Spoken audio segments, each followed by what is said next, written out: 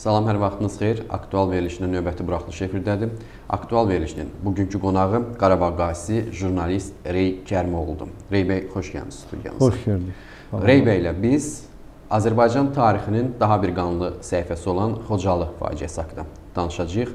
Rey bəy həmin hadisələrin bir növ həm də iştirakçısı olub Qarabağ döyüşlərində iştirak edib və eyni zamanda Xocalıların həmin gecə oradan həmin gecədən sonra oradan çıxarılmasında böyük iştirak olub. Yəni bir növ hadisələrin canlı şahidi deyə bilərik. Rey bəy, əvvəlcə elə yəni bizim məlumatlarımızdan daha çoxdur sizin məlumatlarınız, çünki siz onları hamısını gözünüzlə görmüsüz. Siz e, necə oldu bu hadisə baş verdi? Sizdə məlumat var idimi bir e, döyüşçü kimi ki, orada bu hadisələr yaşanacaq? Çox sağ olun Kəmran bəy. Yəni biz xalqımız üçün ağır bir gündə məni studiyanıza dəvət eləmisiniz. Bu məsələ ilə bağlı fikirlərinizi bölüşsünüz. E, əslində mən e, Xocalı hadisəsi ilə bağlı e, yəni gördüyüm, bildiklərimin böyük bir əksəriyyətini yazmışam. Xatirələrim var, Lentas saytında çap olunub. Bir qismi var ki, hansı ki danışmamışam, yazmamışam. O onun da biraz e, zamana ehtiyacı var bəzi məsələlər. Çünki elə məsələlər var ki, yəni mən onu desəm o şahidlər də onu təsdiq eləməlidir, amma müəyyən adamlar var ki, hələlik susurlar. Onunla bağlı istəmirlər, danışarlar, eləyərlər. Amma bu da bütövlükdə hadisənin mahiyyətinə elə bir ciddi təsir edən məsələ deyil. Elə bir ciddi məqam deyil. Xocalı hadisəsindən öncə çox xas, ümumiyyətlə Azərbaycanda çox qarışıq proseslər gedirdi o dövrdə. Amma biz ordu tezə yaranmışdı. 91-ci ilin e, sentyabrında Azərbaycanın ilk e, özünü müdafiə batalyonu Şirin Mirzəyevin, Azərbaycan milli qəhrəmanı mərhum polkovnik leytenant Şirin Mirzəyev rəhbərliyi Ağdamda özünü müdafiə batalyonu yaradılmışdı. Bu da o vaxt Azərbaycan Xalq Cəbhəsinin Ağdamların şöbəsinin rəhbəri Eldar Bağırovun və cəbhənin Ağdamdakı o fəal rəhbərliyinin dəvəti ilə Şirin Mirzəyev Ağdama getmişdi və ordu quruculuğunda iştirak eləmişdi və qurmuşdu belə deyək. Və artıq hansı ki bu fevral ayında baş verəndə artıq bizim batalyon bir batalyon olaraq formalaşmışdı. Silahı, sursatı artıq e, təmin olundu müəyyən qismdə. Və özünün strukturları formalaşmışdı. Onun kəşfiyyat taboru vardı. Belə deyək də kəşfiyyat dəstəsi. O vaxt biz vuzvot deyirdik. Kəşfiyyat dəstəsi vardı. Sonra e, mina mina atanlar, e, mot atıcı, hə, mot atıcı, sapyor belə-belə bölüşmüşdü. Mən də kəşfiyyat dəstəsində xidmət eləmişəm həmin ərəfədə və e, bu hadisələr baş verəndə də artıq biz Mən bir e, yəni kəşfiyyatçı kimi o hadisələrdə e, olmuşam və ona qədər də bizim məlumatlarımız var. Bizim batalyonun kəşfiyyat e, məlumatları var idi ki, ermənilər həmin ərəfədə hücuma hazırlaşırlar. Bu yanvarda da bu yanvardan bu məlumatlar yanvarın sonundan, fevralın əvvəlindən bu məlumatlar daxil olurdu. Bununla bağlı sənədlər də var bizim əlimizdə. O vaxt rəhmətli Şirin Mirzəyevin Müdafiə Nazirliyinə, ordunun rəhbərliyinə, dövlət rəhbərliyinə göndərdiyi telefonaqramalar da var. Məl yəni yanvardan artıq məlum idi. Mən yox, məsələn bir xəbər var. Hə, belə söhbət. Məsələn üçün mən bir söz deyim də. Mən bu fikrimdən Ermənistan mətbuat tutdu, götdü, yazdı ki, Azərbaycan kəşfiyyatçı etiraf edir ki, Xozalı hadisəsini əvvəl bilirdi. Elə deyil. Malbəyli hadisəsi olmuşdu yanvar ayında, 92-ci ilin yanvarında. Yəni biz bilmirdik ki, hara olacaqdı hücum. Amma ermənilər yəni növbəti hücuma hazırlaşırdılar. Bununla bağlı məlumatlar var idi. Və bizdə məlumatlar var idi. Yəni onların hərəkətlərin, qoşunların hərəkəti, müşahidələri sonradan təhlil edəndə belə nəticəyə gəlmək olurdu ki, bunlar nəsə yenə də bir qanlı hadisəyə belə deyə hazırlaşırlar, hansısa bir hücum olacaq. Və bununla da bağlı e, belə deyək də ənənəvi e, belə deyək növbəti e, addımlar nə idi? O atılırdı yerli o Şirin Mirzəyevdən sonra da bir neçə batalyonlar da Fridasın batalyonu vardı, Qatır Məmmədov batalyonu vardı, bəli, bəli, bəli. Faiq Baxşəliyev Amon var idi və digər dəstələr vardı. Və əlindən nə gəldi, sərhədi möhkəmləndirdi, bu proseslərdə iştirak edirdi yəni qoruyurdular oranı. Amma, qorun, amma qorunurdu oranı Rey bəy. Amma Xocalıda nə baş verirdi? Xocalıda Xocalı ermənilərin belə deyək də tam mühasirəsində idi. Yəni orada əslində arvad uşağımız bizim çox idi. Əhali, yəni arvad uşaq Bəli. çox idi orada. İndi bu günləri e, Kamran bəy çox deyirlər ki, hansısa bir əməliyyat olub, əməliyyatı kimsə pozub, filan olub. Mən vallah bildiyim şeydən danışacağam.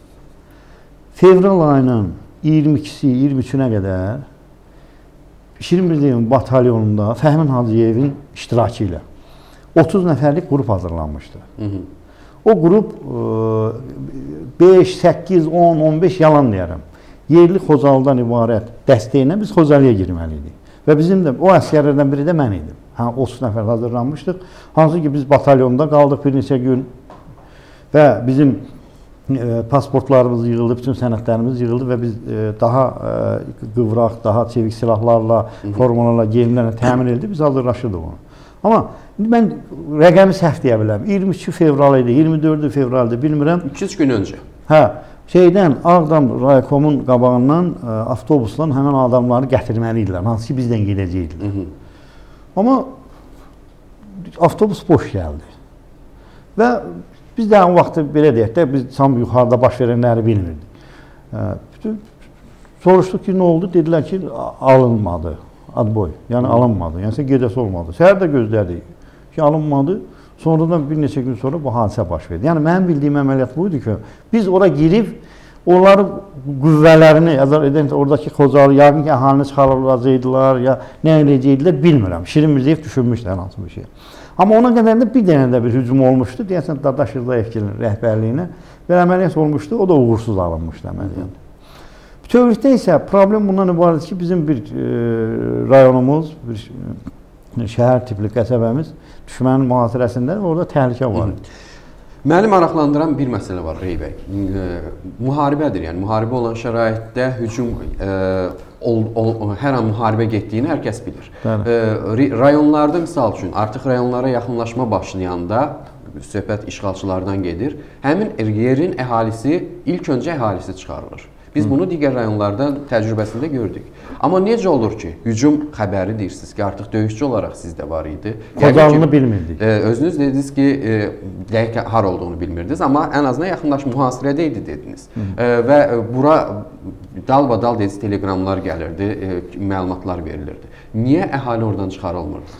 Valla mən yəni obyektiv danışaq. Bax, ə, e, rəhmətli Şirin Mirzəyev də həmişə bu söhbətləri eləyirdi. Baxın, siz dediniz niyə çıxarılmır falan. Onunla bir bu ciddi bir arqument var. Yəni o dövrün reallıqdan bu günləri çox şey demək olar, asan, Hı -hı. amma reallıqdan uzaq danışmaq olmaz. O vaxtı belə idi. Bir kəndin erməni alırdı. Bəli. Araşdırılırdı, deyirdilər ki, cəmaatı kənddən çıxardırdılar. Erməni gəlir ki, kəndə. Ə, kim çıxartdı kənddən cəmaatı? Falan kəs dedi, Həsən dedi, Məhəmməd dedi, cəmaat çıxdı. Və həmin hamı ona satqın kimi baxırdı, bu xəyanətkardır. Cəmaatı oradan çıxartdı, ora işğal olundu. Hı -hı. Belə bir şey var çıxarılmadı deyəndə isə cəmaət təhlükədə qalırdı. Bəli. Əhali məsələn onu bax bir səbəbi bu idi ki, yəni əhali çıxarılsın, eləmi? Bu kim, kim boynuna götürür? Sabahlar orananda deyəcəklər ki, hə satdı, filan kəs satdı. Bax bu problem var idi. Bu günləri asandır müzakirə eləmək, ittiham eləmək, o bəli. Amma o dövrdə bu çox ciddi məsələ idi və bir şeyi də nəzərə alan, o dövrdə Azərbaycanda çox ciddi hakimiyyət boşluqları var idi. Bəli. Azərbaycanın Müdafiə Nazirliyi təzə yaranırdı. Daxili İşlər Nazirliyi AMON idi birdən əsas döyüşən. Düz deyib polis nəfərlərdə. Onlar əsasən postlarda dururdular, arxa bəli, şeylərdə təhlükəsizliyi, əsası qoruyurdular.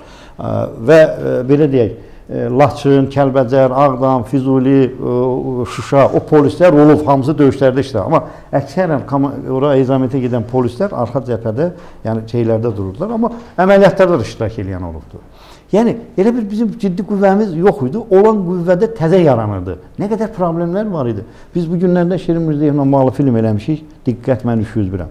Orada Şirin Mirzə öz dili ilə deyir ki, bir ordu yarananda hərə bir söz deyirdi. Nə qədər adam istəmirdi ordu yaransa. Söhbət, yəni biz ittihamı şəxsən mən sualımı e, sual formasında verirəm. Yəni ittiham formasında deyil bu. Söhbət Əlbəttə, siz də vətəndaşsınız. Hə, döyüşçülərdən getmir, söhbət hakimiyyətdən gedir. Niyə bu qədər məlumat ver, verildiyi halda insanları oradan xilas etmək olardı ən azından? döyüş gedə bilərdi və insanlar heç olmasa bu qədər itkimiz olmazdı. Əlbəttə, az itki olardı. Bax mən söz deyim sizə. O Xocalı əsgərlər ki, orada var, hansı ki, döyüşürdülər. Onun yanında anası bacısı olmasaydı, o arxayın daha arxayın döyüşəcək. Bir mədə arvad uşaq çıxartsın, bir dənə də erməniyə cavab versin. Bu bir məsələ. İkincisi, Xocalını nə qədər bir ciddi bir e, dayaq dəstəsi, oranı müqavimət dəstəsi eləyə bilərdi ki, bir alay hücum edib oranı ala bilməsin. Yəni bu da mümkün deyil idi. Başa düşürsünüz? Orada lap arvad uşağı da çıxartsam belə, Orada biz 1000 nəfərlik bir silahlı qüvvə olsaq, yəni hamımız qırılacaqdıq, yəni hal-hazırda balaca bir yer idi, başa düşürsən? Yəni Stepanakert-dən baxanda da Dağlıq Qarabağın ərazisi mühasirəyə aldılar, qırdılar, başa düşürsüz? Bu məsələdə mən həmişə mənim fikrimdir, Rey Kərimoğlu olaraq. Xocalı məsələsində Azərbaycan tərəfində heç bir xəyanət, satqınçılıq yoxdur. Səhlənkarlıq var. Hı -hı. Ən ciddi səbəb də nə idi? Ən ciddi səbəb nə idi? İllərlə qonşu olmuş, lap düşmən ədinə gəlib çıxsaq belə düşünməzdi bu xalq üçün ermənilər bizə qarşı bu cür davranacaqdı. Heç kəsin ağlına gəlməzdi. Yenə Amma deyirəm, zaten edən 366-cı alay oldu. Bəli. Bax, yəni tək bax, ermənilərin günahı bax, deyil. Bax ona qədər bizim e, Qaradağlı faciəsi oldu, Malbəyli, Quşçular, Kərkicahan, Daşaltı. Da, e, Daşaltıda əməliyyatımız olmuşdu. Hı. Yəni bizim əhali yaşayan o kəndlər çıxarılan heç birisində belə olmamışdı. Olmuşdu. Orada da itkilər vardı, amma Xocalı faciəsi əslində doğrudan bir genosid faktı idi. Genosid aktı idi, hansı ki bizim xalqa qarşı yəni bunu yönəltmişdilər. Və bunun yenə deyirəm bir daha əsas səbəbkarı, günahkarı ermənidir. Amma biz onu belə eləsəydik belə olardı deyə bilərdik. Sarıqamış bilirsiniz, Birinci Dünya müharibəsi dövründə Türkiyənin məğlubiyyətinə çöldə səbəb olan, o boyda Osmanlı parçalanmasına belə deyək, hətta səbəb olan Sarıqamış döyüşü. Görürsünüz orada texniki problemlər, texniki qüsurlar nəyə gətirib çıxartdı ki, ordunun böyük bir əksəri hissəsi dondu öldü yəni. və nəticədə məğlubiyyət baş verdi. Bütövlükdə Qafqazda, coğrafiyada, ərazidə, coğrafiyada böyük bir dəyişikliklər baş verdi. Yəni belə olsaydı, belə olsaydı, yəni bu keçdi. Amma mən e, qayıdım Bəli. nəyə? Fevralın 25-i gecə Bökəmdə qar yağmışdı o tərəfə. Mən batalyonda idim, Şirin Müzeyin batalyonunda. Xaçın yerdə idim. Rasiyada o Xocalı qızları bağırırdı ki, bizə kömək edin, bizi qırarlar. Əslində Xocalıya atəş açılanda, Xocalıya baskı olanda onlar Rasiyada xəbər verirdilər. Hə. Yəni olurdu belə şeylər. Amma yenə deyirəm, aha, insanlar bilmirdi nə baş verir. Və qəflətən o qızlar orada ə, e, hətta ağlaşırdılar, belə deyək də ki, kömək edin bizə. Rasiyalarda o vaxtı e, mülkü rasiyalar idi. Oazlarda, Nivalarda, kolxoz sədrlərin, sovxoz sədrlərin olan Nivalarda olan rasiyalar hamı istifadə edirdi onu. Sən danışan, mənlə danışdığında biri girirdi araya bir söz deyir. Bir, bu qızlar belə deyəndə bir nəfər kişi səsi, bir nəfər girdi, dedi ki, panika yaratmayın. Boş yerdir, yalan şeydir. Cəmaatı arasında panika yaratmayın. Hı -hı. Biz insanları çaşdıran həm də bu məsələ oldu. Yəni ki, panika yaratmayın. Artıq biz orduyuq, xəbərimiz yox. Təhkimat. Amma amma üzə səhərə yaxın ki, Ağdama ilk o Xocaldan çıxanlar ki, gəldilər əhalini qırıbdılar Şelli kəndinə tərəf, Avdal Gülaflı o tərəflər. Meşənçi ilə. Bəli, Meşənçi ilə Əxyalın baş açıq, yaralı, artıq iş gələndə üzə bəlli oldu ki, cəmaət onlar informasiya verdilər və hələ Azərbaycan bundan xəbəri yox idi. Ağdam xəbər tutdu. Və ilk olaraq çox təəssüf haldır ki, yəni ə, ə, həmin vaxtda yeganə informasiya mənbəyi olan və hamının gözü tikdiyi ə, Azərbaycan televiziyası da Xocalıda ə, hadisə olduğu barəsində ə, məlumatı gizlətmişdi və Bəli. bir nəfərin öldüyünü xəbər Bəli. vermişdi. Və bizə məlumat çatan kimi mən sizə bir söz deyim heç bir hərbi tapşırıq zad olmadan, əməliyyat olmadan Ağdamdakı yerli batalyonların e, yaxında postu olan, əlində silah olan uşaqları hamısı şelliyə axışdı. İndi Avdagülaq uşaqları o tərəfdən, bu Cinli, Kolanlı dərəsindəki uşaqlar o tərəf, çünki orada geyib çıxan olur. Bir həftə sonra biz Kolanlı dərəsində, Cinli tərəfdə meşədən bir qadın tapmışdı bizim uşaqlar. Ayaq yalın baş açıq gəldi. Bir həftə o yaşayıb orada yəni. Hə, meşədə. Təxminən 6-7 gün sonra. Biz təcili məlumat alan kimi bizim həmən kəşfiyyatın uşaqları bir avtomobilə zil atanlar. Ona minib dərhal hadisə yerinə gəldi. Xeyli arası var bizim hmm. Xaçından oran. Biz gəldik, çatdıq Şelliyə və Şelliyə çatanda o Qaraqayla deyilən yer var. Biz ora çatanda artıq insanları çıxardırdılar. Biz ora çatdıq. Rəhmətlik Allah verdi Bağırov, Fred Asiyev, Qatır Məmməd, Amon polisin o xüsusi təyinat uşaqlar və digər o belə deyək də döyüşçü uşaqlar artıq oradaydılar və heç kəsə heç nə demədən hər şey təşkil olunurdu. Məsələn, həmin günü Qaraqaya ermənilər öz fəaliyyətdə belə öz fəaliyyət, bəli, öz fəaliyyətinlə, hə, öz gücünlə. Və həmin günü orada Qaraqaya ümumiyyətlə bir neçə dəfə ermənidə və yaxud bizdə olub, alınıb, geri qaytarılıb, o belə. Həmin günü də tərslikdən erməninin nəzarətində idi Qaraqaya. Və həmin günü e, bizim indi Xocalıq şahidlərinin danışıqları da var. Məndə onların yazılarında da var, istifadə eləmişəm. Onlar necə gəlib Qaraqayaya çatıblar, Qaraqayada bunları bir əsir götürdülər, nə qədər qırıbdılar. Sonra Qaraqayada ağır döyüş getdiyini və e, ermənilərin bunları qoyub qaçdığını elə bir döyüşdə, yəni doğrudan ağır bir döyüş və gəlib bunları azad eləyəndə bəlli olur ki, bunlar Ağdamdan gələn e, döyüşçülərdir və bu da Qatır Məmmədin, orada deyir Qatır Məmmədin deyir batalyonunun əsgərləri idi. Eyni zamanda digər batalyonun əsgərləri də təxminən orada 4-5 erməninin postu alındı. O meşənin içinə doğru. Qaraqaya alındı. Nə bilim orada ermə şeyin Əsgəran ferması deyilən yer vardı. O tərəfdə ermənilərin postu alındı. Qaraqaya'dan üz durumda sol tərəf, Naxçıvanik tərəfdə bir neçə post alındı ki və biz girdik e, meşənin içərisinə o da, da, dağlarla. İndi bu gün biz danışırıq, sonra mən o kadrlara baxıram. Qar yoxdur, o meyitlər yığılanda orada var. İnandırım sizi dəhşətli qar. danışdıqca mənim ə, e, xatirəmə gəlir misal üçün. Dəhşətli ə, qar kadrları gör, gördükdə təpələrin üstündə, yəni vertolyotla endikdə o, o bizim gözümüzün qarşısında olan o kadrlar. Orada qarın olduğu görünür yəni. Hə, qar həmin günü 26-sı səhər-səhər tezdə bizə qar dizdən idi. Elə yer olurdu ki, qurşağa qədər qara biz batırdı. Mənim döyüşçü yoldaşım vardı, Nail Nəsirov. O bir yerdə döyüşmüşük. Onunla baxdı ki, artıq doğrudan açığı hamı döyüşür. Yəni Amma eyni zamanda orada sanitar maşınlar gəlmişdi. Ağdam xəstəxanasının, hərbi qospitalın maşınlar gəlmişdi, yaralıları çıxardırdılar. Hı -hı. Yaralıları Məsələn, oradan çıxardırdılar. O ocaq qaramışdılar. Şelli cəmaatı adyal, palaz, döşək, yorq, nə kimin nə çatı o cəmaat dol vurub gələn adamları alırdılar, maşınlarla aparırdılar. Bu ancaq, yəni belə deyək, bir istiqamətdən çıxarılırdı insanlar. Əsas da ora gəlmişdilər. Əsas ora gəlmişdilər. Əsas ora gəlmişdilər və oradan həmin başqa yerdən çıxarılma yerləri vardı mı? Var idi, var idi, var idi, amma az idi də, az az. Yəni Avdal Gülahlı tərəfdən mən bilən gedibdi. Bir də dedim o Çolan tərəf, tərəf o tərəfdən də gəldi. Əsas şəhli idi. Hə, əsas şeyli idi. Və bizim orada, yəni e, belə deyək də, təbii şəkildə, yəni heç kəs komanda vermirdi. Bilmirdim, bəlkə də verirdi, mən görürdüm. Hər bir baş şeylər, təcil yardımlar gəlirdi, uşaqlar çıxardırdı ilə. Biz biz baxdıq ki, hər tərəfdə döyüş gedir və biz o belə deyək də döyüşə-döyüşə ön cəbhəyə çatandıq. Hansın erməni postu bizimkilər bizə qədər artıq götürmüşdülər. Biz ora çatanda Gördüm ki, arvad uşaq qalıb yaralı qarın içində, meşənin içində, yəni çabalayırlar, pis vəziyyətdə. Naillə biz başladıq arvad uşağı çıxartmağa. Bəli. Hardasa bir 3-4, bəlkə də 5 uşaq arvad çıxartdım. İndi mən onu yenə deyirəm, o xoşum gəlmir demək, xatirələrimdə var o. Orada bir biz uşaq çıxartdıq, bir qadın çıxartdıq, qucağında uşaq. Gəldi o skorun içində, o tədbir yardım maşının içində asanda bəlli oldu ki, uşaq ölüb. O qadın necə qışqırsa, hələ də mən onun hər danışanda onun səsi qulağıma gəlir. Mən hələ indiyənə qədər elə ana fəryadı eşitməmişəm. Yəni bütün o Xocalı şeyində o ana belində o uşağını bağrına basıb, yaq belinə yapanını gətir çıxartmışlar və ora gətirəndə o bəlli oldu ki, ölübdür. Çox dəhşətli bir səhnə idi. Orada bir mənzərə oldu. Bir körpə idi. 5 yaşında, 4 yaşında uşaq idi. Onun əl-ayağı donmuşdu, ayaq donub bir şala bükmüşdülər onu, kletkalı bir şal idi yanaqları o qədər ağlamışdı ki, yanağından buz.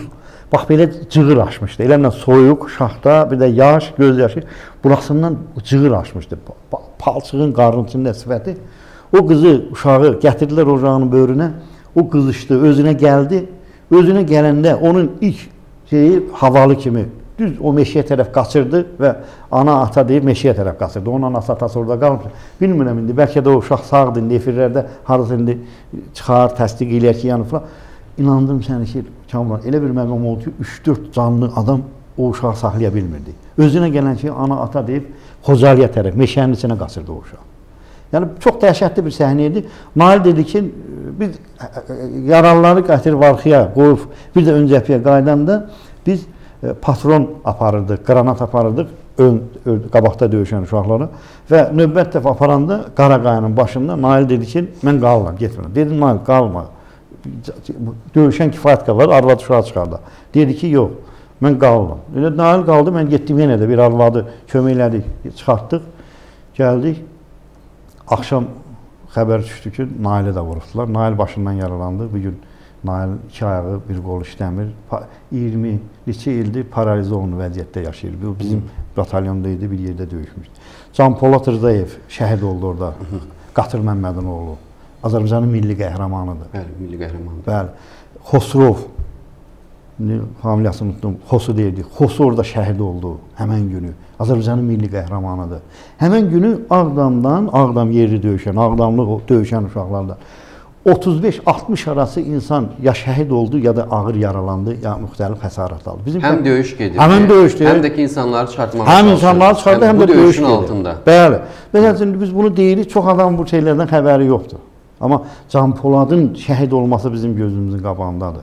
25-30-a yaxın insan indi yenə deyirəm, qabaqçı devir deyil, internetdir. Nə deyirsən, sabahları hər sözə bir axtarıb, araşdırıb qoymaq olar. Fermanın içindən ermənilər doldurmuşdular qızları, gəlinlər er, şeyə, əskərənin fermasına.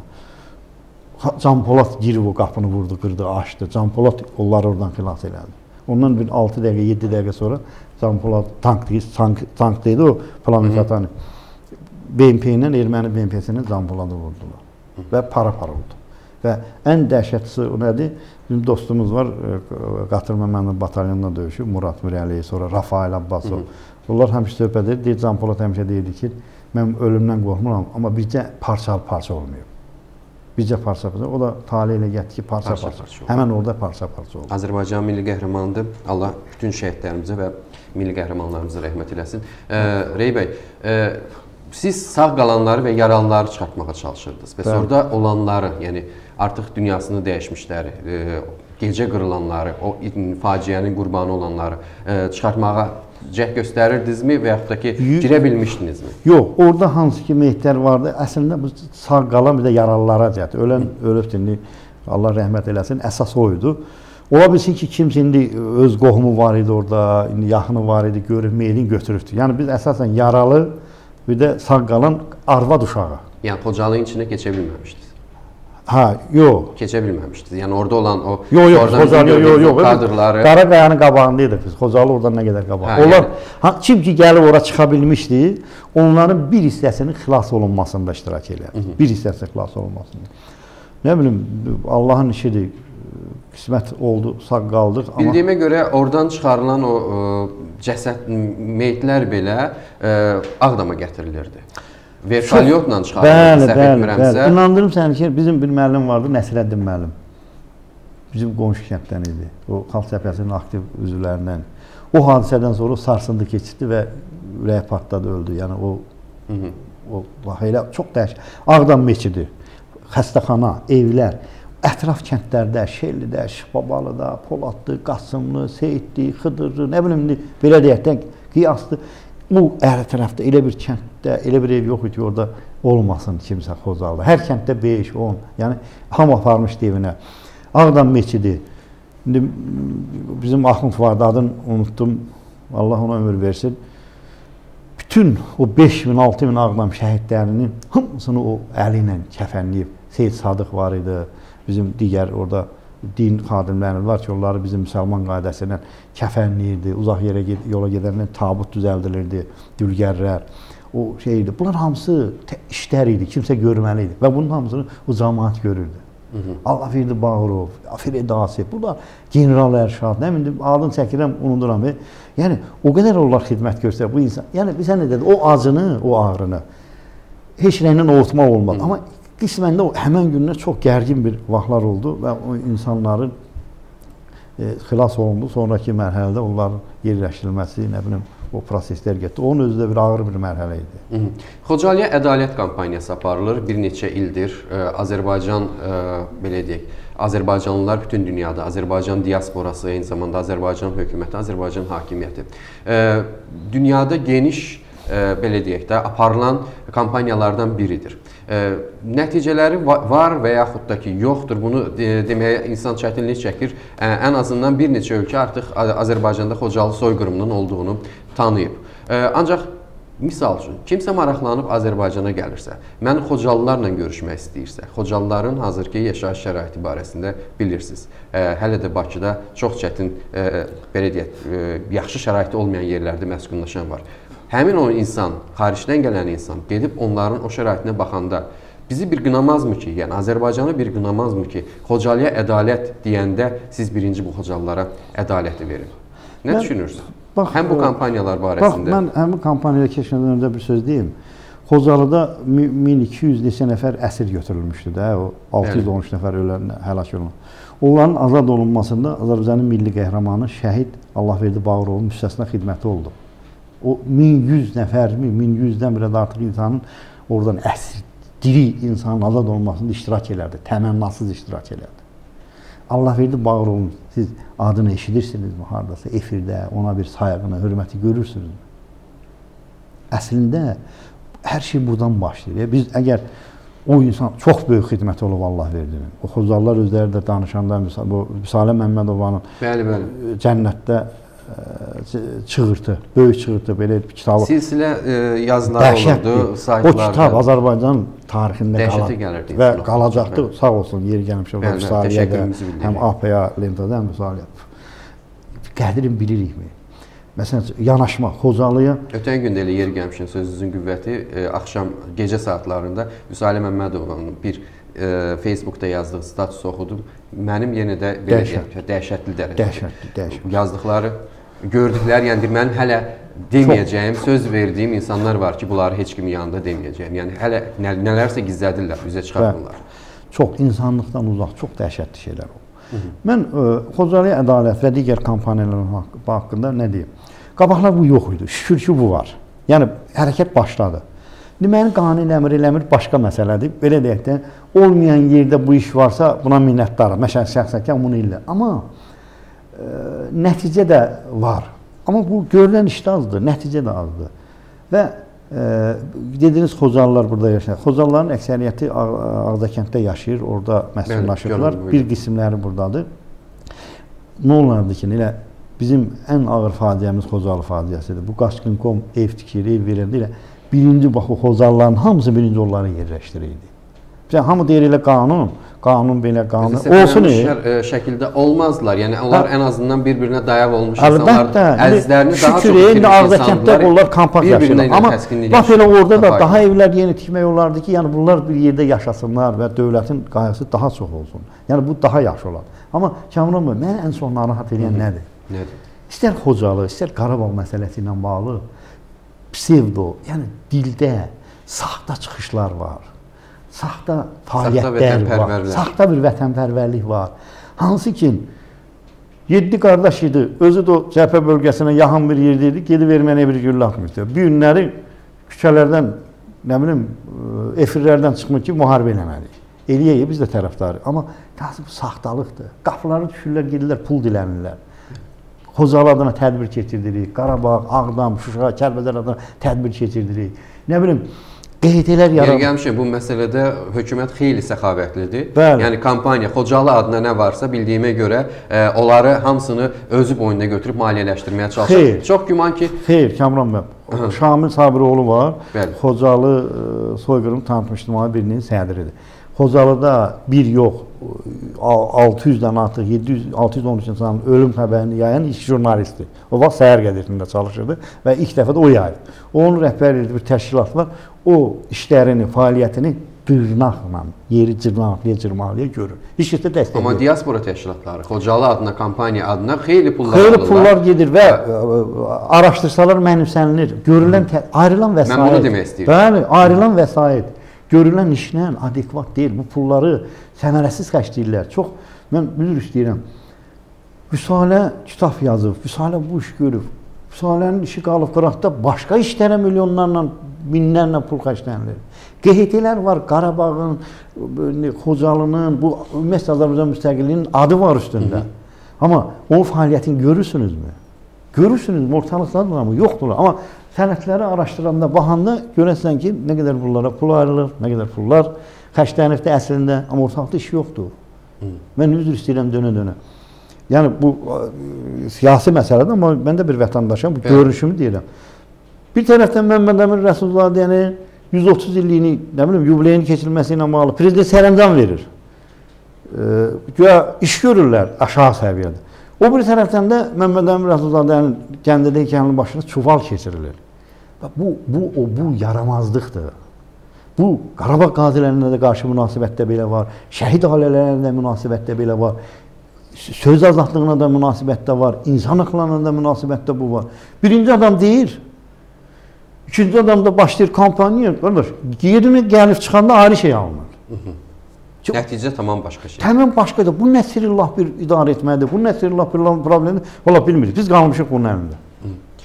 Təşəkkür bildirəm Rey bəy. Studiyamıza gəldiyiniz üçün, suallarımızı cavablandırdığınız üçün, bu ə, ağır belə deyək, təəssüratlarınızı bizimlə ə, bölüşdüyünüz üçün bir daha başımız sağ olsun. Başqa ə, deməyə adam hələ ki söz tapmır. Ümid edək ki, ə, ümid edək ki, Xocalılar da əsl ədalətin nə olduğunu görəcəklər tez bir zamanda. Aktual verilişi burada işini yekunlaşdırır. Qonağımız Qarabağ qazisi, jurnalist Rey Kərimoğlu idi. Növbəti görüşlərə dək salamat qalın. Thank you.